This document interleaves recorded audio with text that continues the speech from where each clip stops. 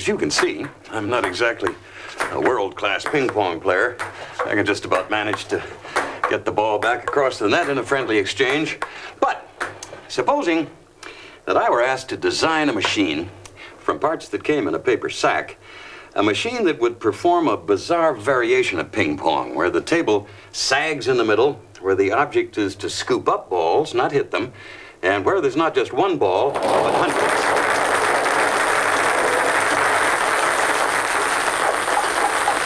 Kind of boggles the mind, doesn't it? well, this little exercise also boggled the minds of an entire class of engineering students at MIT in the latest of their famous annual design contests. Competition night. 200 students fighting to gather in the most ping pong balls in a series of matches lasting just 30 seconds each. The loser is eliminated, but the winner may end up as champion engineer. We are, we are the engine of the Tata. We can, we can, we can, we can demolish 40 beers. Drink rum, drink rum, drink rum all day and come along with us. Six weeks earlier, the students picked up their identical kits of parts.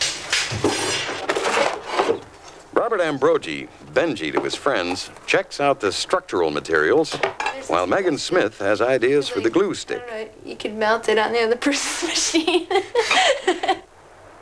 The task was revealed a few days ago, and already they're working out how the various gears, cardboard tubes, aluminum rods, and electric motors might be used. Two motors. Megan and her roommate Jenny Quo swap ideas. Hey, look. This would be great for a vacuum.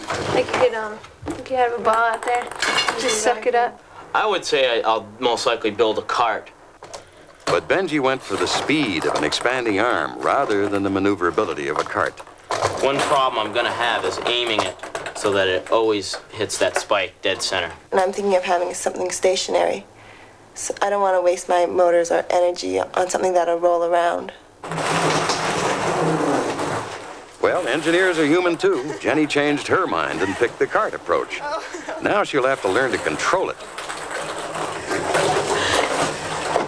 I'm gonna try to go for something that's simple, uses the energy that I have real directly. Its motion through there is gonna pull these two bars downwards, so that once it's in that position, it Sounds simple, but of course she has to build it.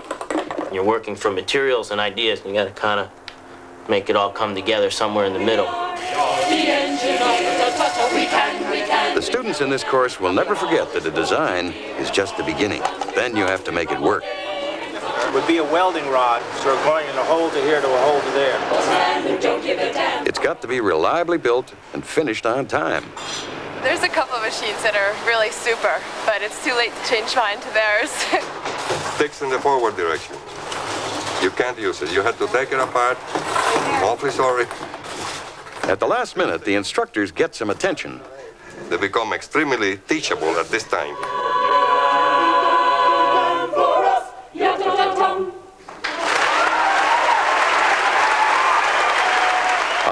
On there are just two important questions. Will my machine work? And who am I up against? Jenny just found out that she's going against um the guy, this one guy who's had, his name's Toshiki or something. I don't know. He's had this machine in a box. Like one student asked him what he was going to make, and he said, my, "It's my 270 project," and that's all he said. Rumors of machines that can get rakes out in a tenth of a second. I've seen some really powerful machines, but um, a lot of it has to do with the combinations of machines. A fast rake could get smashed very easily. Jenny Quo versus Tashiki. Running the contest is the man who dreamed up this course, Professor Woody Flowers. Get set, go. Jenny gets away quickly, but Tashiki's heavy machine jams her up. She breaks free and regains enough control to collect her first and only load.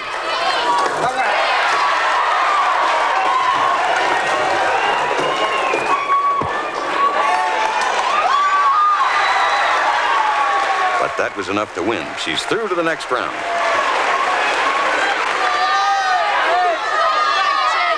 I didn't um, steer it as well as I thought I could have, but I still managed to get some balls, and that's what counts. Nice sight now. Keep there. You got aim right? Benji, round one.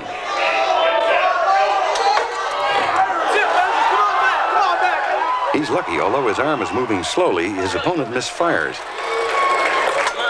But in future, you'll have to work fast to beat the maneuverable carts. Ah, it's moving slow. It's moving really bad.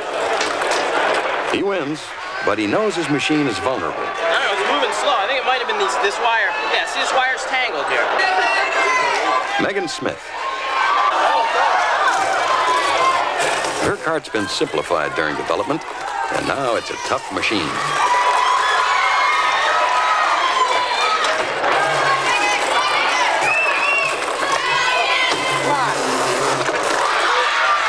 It's an easy first round for her, too. I'm a winner. There's never a shortage of ingenuity. Anything is worth a try. Including this potential world beater. It's a barrier that blocks the opponent from even getting to the balls. That works, but the ball gatherers aren't quite as effective.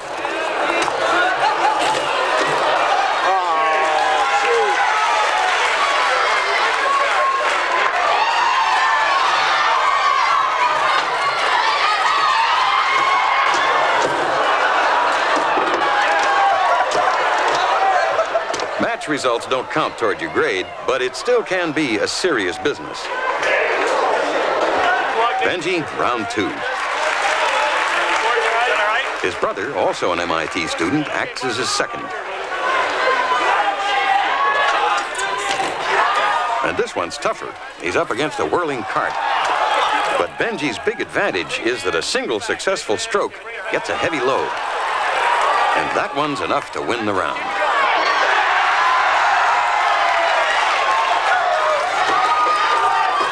Now Megan is up against a fast cart with a wild plunging rake. And she's in trouble. She loses control, and there's a hopeless tangle. My wheel started just going too much this one way, and once, and then I just couldn't pull back. I guess I was just too about that. nervous. Hey, don't think sorry. Um, I'm out now. Jenny in round two.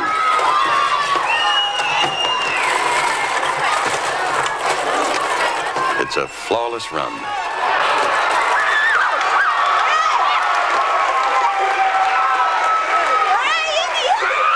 Yeah, it's great. I love it. I love it.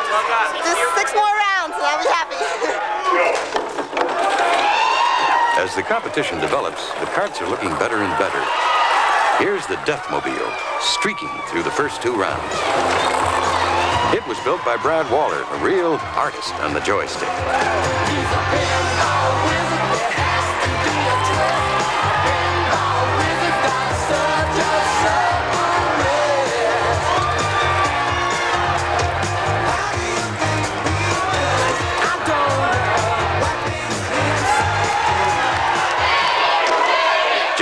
The Deathmobile in round three. Set, go.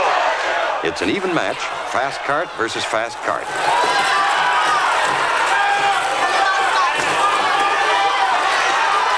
And there's a control problem for Jenny. She can't work loose from the stakes that Woody Flowers put in just to make things a little more difficult. The perfectly controlled Deathmobile walks away with it. It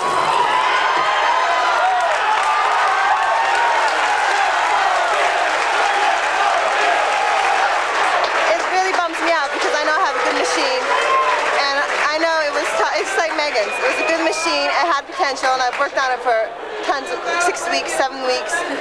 And I'm really mad at myself because I can't steer. She got hung up on the post, and I didn't, so I won. And I guess it luck. Benji, through to round four, immediately has trouble spreading his rakes with the delicate winding system. The opposition makes it worse, and it's all over. I stuffed my rakes around back into my machine, and it all got tangled up. And once that happened, I was dead. It's no surprise when two carts make it to the finals. Brad Waller's Deathmobile against David Cultus's Love Tractor. Down! Down!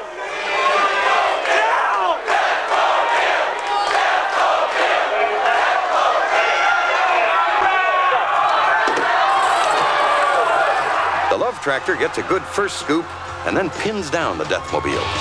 It could be all over. But the joystick artist breaks out and begins to catch up. Fast.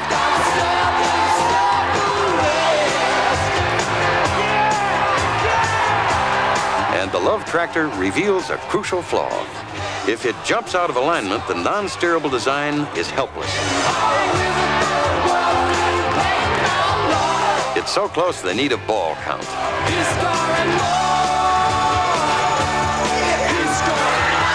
It's Brad Waller. By 87 to 75, he is the champion engineer. The students were fantastic, as usual. A lot of diversity. They were exciting, and uh, I think they were good, good sports, and they learned a lot. We had lots of winners tonight. You learn so much about just how to design things. I mean, I know what a 632 screw is exactly now. I mean, you know, you know everything.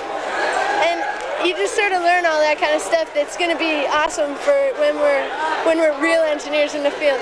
And we'll know, you know, what's going on. The class is valuable and the content's just for fun. Yeah, I that's how you have to take it. I think it's probably the best class I've ever taken at MIT, and I've learned so much from it. It's just, it makes me want to be an engineer now.